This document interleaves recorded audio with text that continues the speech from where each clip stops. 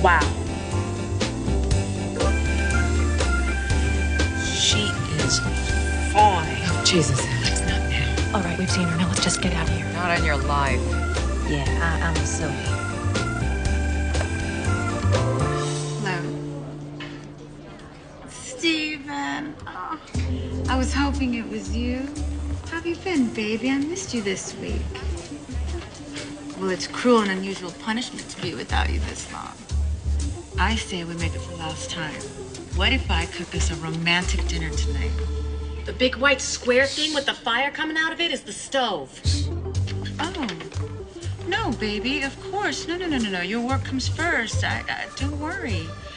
I'll just save you a piece of cake with the candle on it. Well, I didn't want to tell you, you know, because I didn't want you to make a fuss. And I'll have other birthdays. I, I would, no, no, no. I, I would feel terrible taking you away from important business. Are you sure? Oh, baby, I'm one happy girl. Okay, I'll see you today.